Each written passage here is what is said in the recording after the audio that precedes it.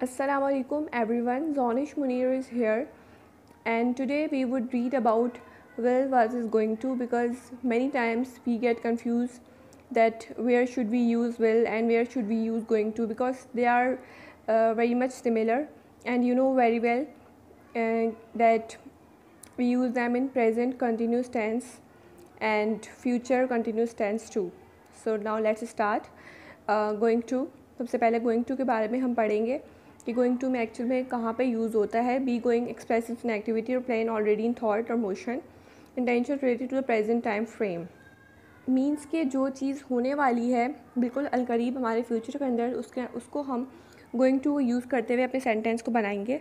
This is about to happen I can almost see it happening I mean इस तरीके से be going to का जो है सेंटेंस बनता है, जिस तरीके से हम यूज़ करते हैं। I am going to take a shower यानी मैं अभी ये काम करने वाली हूँ। I am going to shopping and जब आप इस तरह के सेंटेंस यूज़ करते तो फिर आपको दो दो बार बार यूज़ करने की ज़रूरत वो नहीं होती। आई होप सो कि आपको एक कॉन्सेप्ट जो है वो समझ आया होगा कि गोइंग टू एक्चुअल में यूज़ किस लिए होता है, ठीक है? अब हम इसकी एग्जाम्पल्स की तरफ़ चलते हैं। इससे कॉन्सेप्ट जो है वो और क्लियर हो जाएगा। जैन फ़र्स्ट है Jane is going to be surprise I mean this is about to happen ये काम बिल्कुल अभी होने वाला है अन करीब फ्यूचर के अंदर तो हम ये यूज़ करेंगे Jane is going to be surprised and Ali is not going to be believe what just happened the future आइडेंट relates to current reality ये यहाँ पे सेकेंड सेंटेंस के अंदर हम देख रहे हैं कि फ्यूचर को इन्होंने करंट रियलिटी से आपस में जोड़ा है। तो हम जो है फिर इसके लिए भी गोइंग टू यूज़ करते हैं। And the third is I am going to text Sana the news right now ये मेरी इंटेंशन है, जो कि मैंने ऑलरेडी प्लान की हुई है। और ये इंटेंशन जो है मेरी, अब मैं ये पूरा करने वाली हूँ। ठीक है? तो इसके लिए हमने क्या यूज़ किया? गोइंग टू यूज़ किया। यानी जो काम आपने सोच लिए हैं, समझ लिए हैं, बस आपको करने वाले हैं तो उन कामों के अंदर आप एक्चुअल में क्या यूज़ करते हैं? गोइंग टू यूज़ करते हैं। ठीक है? अब हम देख लेते हैं विल का कॉन्सेप्ट कि विल जो है वो किस तरह तरह से हम यूज़ करते हैं। Will expresses an activity we think west know और predict will happen at time later than a current time यानी आपने कोई इन्फॉर्मेशन देनी है किसी भी तरह की और किसी भी तरह का आप मतलब कुछ बताना चाह रहे हैं, आपकी कोई प्रिडिक्शन हो गई और कोई भी आपकी ऐसी, ऐसा काम जो आपको स्केड्यूल में आता है, आप वो काम करते हैं रोज़ तो आप उसके लिए बताते हैं कि आप क्या यूज़ करेंगे विल यूज़ करेंगे। प्लान्स आपने कोई कर रहे हैं, ठीक है? और ये विल के अंदर जो होता है वो आपके कुछ ऐसे प्लान होते हैं जो कि अभी करंट टाइम टाइम फ्रेम के साथ वो जुड़े हुए नहीं होते हैं। जिस तरीके से गोइंग टू में ऐसा था तो विल में ऐसा नहीं है। विल में जो है, हम डायरेक्टली फ्यूचर की बात कर रहे होते हैं ओके तो ये इसका मेन कॉन्सेप्ट था विल का, ठीक है? तो आप अब डिफ्रेंशिएट कर सकते हैं इजीली के गोइंग टू में और विल में क्या डिफरेंस हो सकता है, ठीक है? आपके ये स्केड्यूल प्लान प्लान वो नहीं है। एक्चुअल में विल जो है ना, हम फॉर्मल वे में ज़्यादा यूज़ करते हैं और जो गोइंग टू होता है, वो इनफॉर्मल वे में हम ज़्यादा यूज़ कर रहे होते हैं।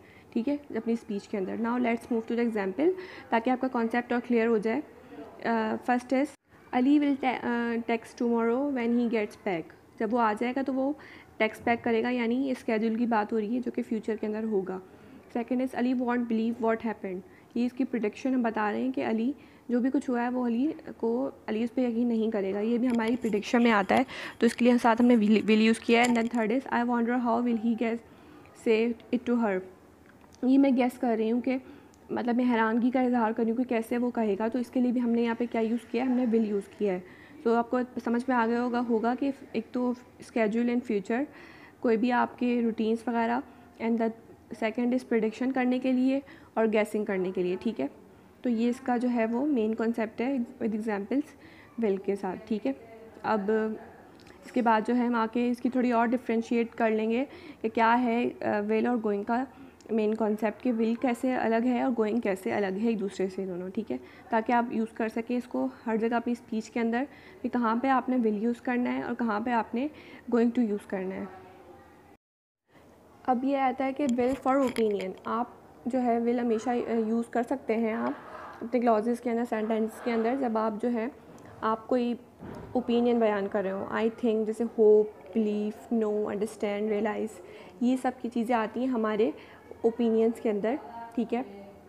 तो ये पाँच चीज़ें जो हैं, ये आप अपने ओपिनियन के अंदर बयान करते हुए आप विल यूज़ कर सकते हैं। I hope that you will buy a new mobile phone सही है?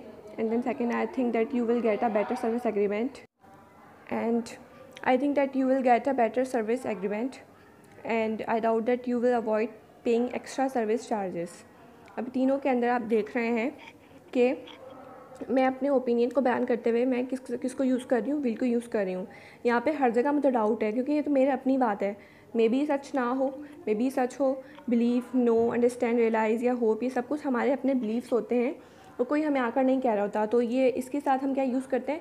हम बिल को यूज़ कर सकते हैं ओके तो अब नेक्स्ट जो है, हम दूसरे कॉन्सेप्ट के ऊपर चलते हैं इसके। जो क्या होगा गोइंग टू और अब नेक्स्ट ये बात याद रखिएगा बी गोइंग टू के अंदर आप कभी भी गोइंग टू को यूज़ नहीं कर सकते जब आप अपना ओपिनियन बयान कर रहे हैं। जैसे कि I hope that you are going to buy a new mobile phone ये बिल्कुल रॉन्ग होगा सेंटेंस अगर मैं ऐसे कहती हूँ I doubt that you are going to do this and that and I believe that you will do this and you are going to do each and every thing तो ये जो है, इसका कॉन्सेप्ट बिल्कुल रॉन्ग हो जाएगा, ठीक है? आप हमेशा जो है, वो अपनी उसको प्रडिक्शंस जो होती हैं मतलब कि यही ओपिनियन शो करने के लिए आप हमेशा विल को यूज़ करेंगे ओके गोइंग टू को अगर आप यूज़ करेंगे तो सेंटेंस रॉन्ग हो जाएगा आपका। अब नेक्स्ट ये आता है will for memory you know very well कि मैंने आपको वीडियो के स्टार्ट में बताया था कि बेला आप हमेशा जब भी बात करते हैं तो आप फ्यूचर की बात कर रहे होते हैं उसको फ्यूचर से रिलेट कर रहे होते हैं। कभी भी वो प्रेजेंट चीज़ से रिलेटेड नहीं होता। हालाँकि गोइंग टू में ऐसा होता है ओके सो so, आप कभी भी विल को जो है क्योंकि मेमोरी जो होती है memory verbs carry the meaning of recalling an earlier activity memory हमेशा पीछे से जुड़ी हुई होती है पीछी बातों से पिछली बातों से। So will is not use after clause the verb related to memory okay remember recall recollect forget ये जो वर्ब्स हैं, इनके साथ आप कभी भी विल को यूज़ नहीं कर सकते, आपका सेंटेंस स्ट्रॉन्ग हो जाएगा। For example I recall that you will take to buy a new phone next week and then second is I remember that you will give us a call on Friday ये दोनों sentences बिल्कुल wrong wrong हैं। आप इसकी जगह going to use कर सकते हैं कि I I recall that you are going to buy a new phone and I remember that you are going to call us on Friday ये दोनों सेंटेंस बिल्कुल सही होंगे, लेकिन अगर आप मेमोरी की बात करते हुए विल को यूज़ करेंगे तो आपके सेंटेंस स्ट्रॉन्ग हो जाएगा, बात याद रखिएगा। पीछे की मेमोरी यानी फॉरगेट के साथ रिकलेक्ट के साथ रिकॉल के साथ रिमेंबर ये कौन सी वर्ब्स हैं? मेमोरी वर्ब्स हैं, इनको आप इनके साथ यूज़ विल के साथ नहीं, कभी भी यूज़ नहीं करेंगे, ठीक है? तब तक के लिए शबा खैर एंड अल्लाह हाफिज़। इससे हमारी जो है वीडियो वो ख़त्म होती है।